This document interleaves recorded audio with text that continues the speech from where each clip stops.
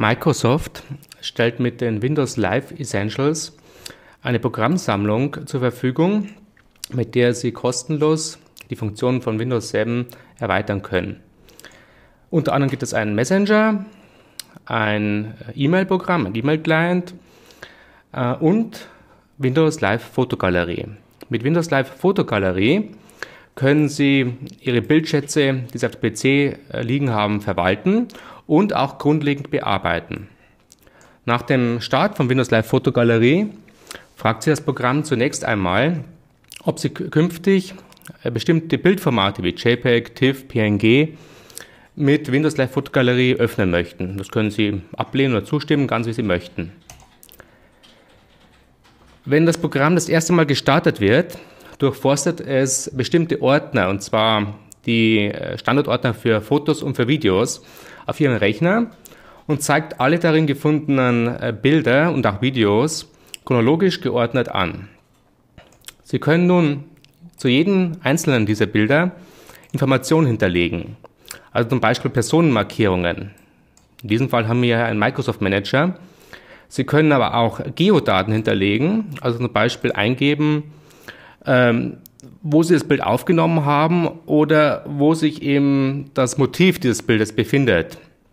Dabei äh, bietet Microsoft äh, eine Reihe von Geodaten an, die Sie auswählen und direkt zuweisen können.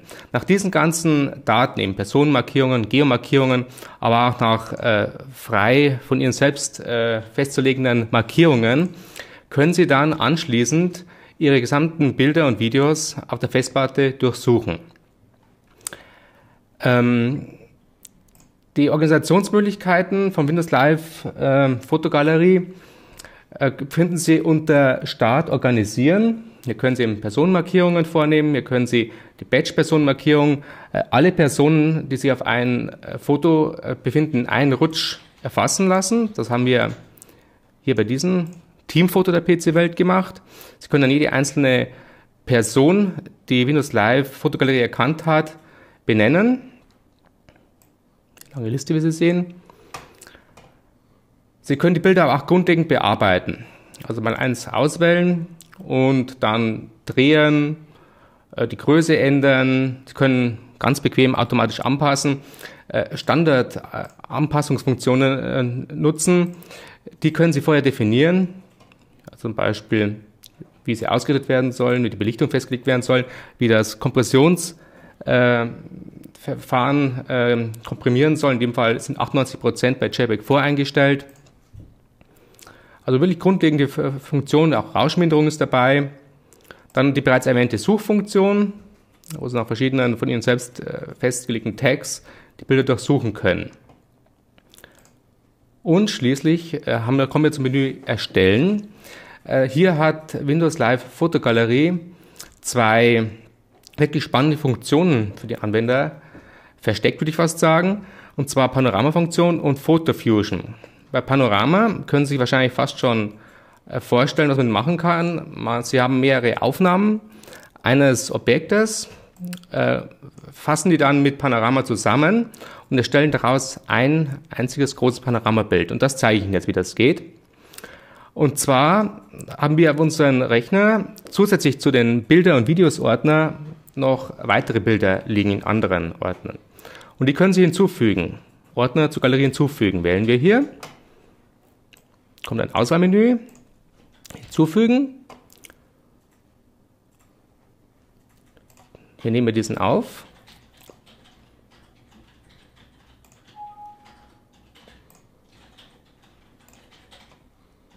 So, jetzt haben wir weitere Bilder, die nicht in den Standardordnern für Bildern oder Videos gelegen sind, in Windows Live äh, Fotogalerie importiert.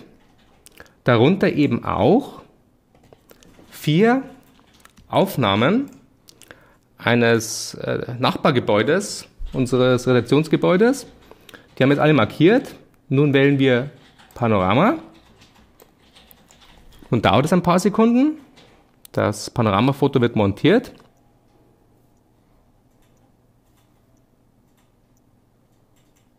Dabei werden die Bilder so angeordnet, dass sie sich leicht überlappen, sodass keine Leerstellen entstehen. Und es steht nun ein, eine fertige Montage, die wir uns auch gleich ansehen. Et voilà, mit vielen Einzelbildern ist ein großes durchgehendes geworden. Sehr schön. Die zweite spannende Funktion nennt sich Photo Fusion. Sie ist in erster Linie, würde ich mal sagen, für Gruppenfotos interessant. Sie kennen vielleicht das Problem. Sie haben eine größere Anzahl von Personen zusammenstehen, wollen ein schönes Gruppenfoto schießen, aber irgendwie eine Person läuft aus dem Bild, grinst in die falsche Richtung, lacht überhaupt nicht. Dann äh, in diesem Fall nehmen Sie mehrere Fotos auf vom selben Standpunkt, also bewegen sich als Fotograf nicht, schießen die Gruppe mehrmals äh, und äh, fassen dann quasi aus diesen mehreren Aufnahmen ein optimales Foto zusammen. Wir machen das jetzt mal ganz vereinfacht mit unserer Teamassistentin. Zwei Bilder wählen wir aus. Auf einen lacht sie, auf den anderen nicht. Wählen Photo Fusion. Wieder dauert das ganz, ganz kurz. So, und sehen Sie, auf einen lacht sie. Wir haben jetzt hier das weniger geglückte, auf dem sie etwas grimmig reinschaut. Und wollen das jetzt mit dem hier mit dem lachenden Foto ersetzen und schon haben wir ein wunderschönes Ergebnis. Foto, Windows Live Fotogalerie arbeitet natürlich zunächst einmal mit, dem, mit den Fotos auf Ihrem PC. Sie können diese dann aber, wenn Sie fertig haben, nach Belieben auch online veröffentlichen, idealerweise auf SkyDrive, das ist der kostenlose Online-Speicher von Microsoft, aber auch auf Facebook oder Flickr. Ganz wo Sie die Fotos gerade benötigen. Windows Live SkyDrive ist der kostenlose Online-Festplattenspeicher von Microsoft. Microsoft stellt Ihnen 25 GB Speicherplatz zur Verfügung, auf die Sie von jedem Rechner aus zugreifen können. Einzige Voraussetzung, eine Internetverbindung. Der Zugriff erfolgt, erfolgt über einen Browser, idealerweise mittels dem Internet Explorer 9. Und damit Sie überhaupt Zugriff bekommen auf SkyDrive und Ihnen ein Konto zur Verfügung steht, brauchen Sie eine Windows Live ID. Die gibt es bekanntlich kostenlos. Wenn Sie sich angemeldet haben, dann können Sie SkyDrive auswählen. Vom Start weg sind mehrere Ordner wie eigene Dokumente öffentlich äh, vorhanden. Sie können aber auch Favoriten aus Ihrem Browser hier ablegen und äh, dann mit anderen Rechnern teilen. Und es gibt ein eigenes Verzeichnis für Fotos. Sie können hier in diesen Bereichen neue Ordner anlegen, sowie auf die Office Web Apps, das kostenlose Online-Office von Microsoft, zugreifen. Sie können also von vornherein beschließen, ich brauche jetzt mal eine Word-Datei oder eine Excel-Tabelle, können Sie ja anlegen, oder eben einen Ordner. Das machen wir jetzt mal schnell. Wir geben einen Namen.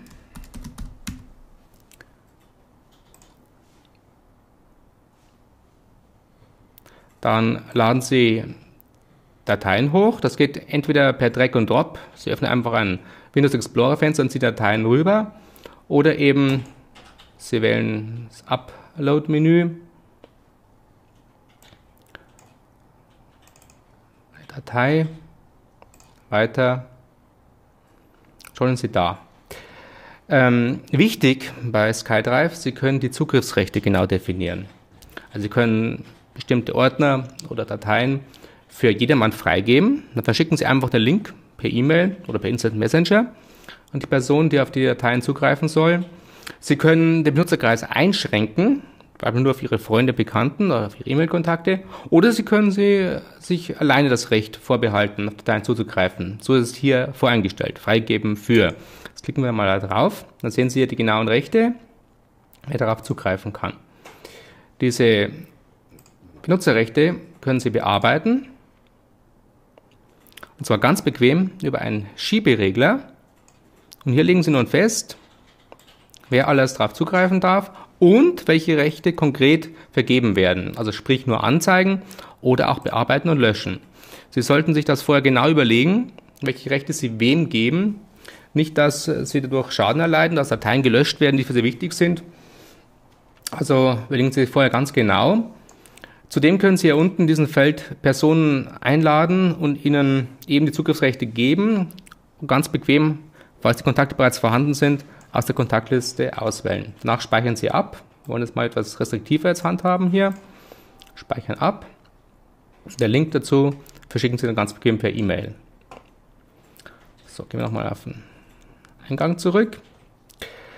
Äh, Windows Live SkyDrive zunächst mal eine Online-Festplattenspeicher. Sie können also alles hochladen, was Sie wollen. Sie können aber auch direkt, wie bereits kurz angedeutet, hier Office-Dateien erstellen. Zeigen wir auch noch mal ganz kurz. Wenn Sie beispielsweise eine Word-Datei erstellen wollen,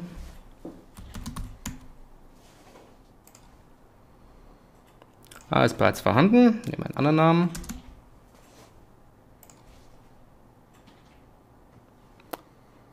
So, nun sehen Sie schon, nach wenigen Sekunden wird automatisch aus SkyDrive heraus die entsprechende Applikation von Office Web Apps, also im etwas abgespeckten, aber kostenlosen Online-Office von Microsoft geöffnet. Nun können Sie ganz normal tippen, formatieren, wie eben, wie Sie es von Word gewohnt sind, und am Schluss speichern. Das haben wir die direkte Schnittstelle zu Office Web Apps. Bequemer geht es gar nicht. Äh, Windows Live SkyDrive ist dann auch gleich der Speicherplatz für Live Mesh, also die Synchronisationsfunktion für Ihr Rechner, eben für Office Web Apps, ähm, aber auch für Fotos, die Sie mit Fotogalerie, einer anderen Anwendung von Windows Live Essential bearbeiten. Die können Sie ja auch ablegen. 25 GB stehen Ihnen kostenlos zur Verfügung. Nachdem ich Ihnen Windows Live Fotogalerie ausführlich vorgestellt habe, sowie den kostenlosen Online-Festplattenspeicher SkyDrive, wollen wir uns jetzt noch ganz kurz Windows Live Movie Maker anschauen. Und ebenso wie Sie mit den äh, Live Essentials äh, Bilder bearbeiten können, mit Fotogalerie, können Sie auch grundlegende Videobearbeitungsfunktionen nutzen. Ich habe Movie Maker bereits geöffnet. Jetzt nehmen wir einfach mal das von Windows 7 mitgelieferte Standardvideo. Das Wildlife in HD. Und das können Sie nun diversen visuellen Effekten aufpeppen und verändern, natürlich dann auch so abspeichern. Sie können Animationen einblenden, Übergänge beeinflussen. Sie können äh, Musik hinterlegen, also eigene Musik. Dann geht es ganz anders los. Ihr fertiges Ergebnis können Sie dann, wie gehabt, auf SkyDrive ablegen, aber auch auf Facebook veröffentlichen. Es stehen alle standardmäßig aus äh, Windows Live Movie Maker heraus zur Verfügung. Und Sie können Ihr Kunstwerk auch klassisch abspeichern.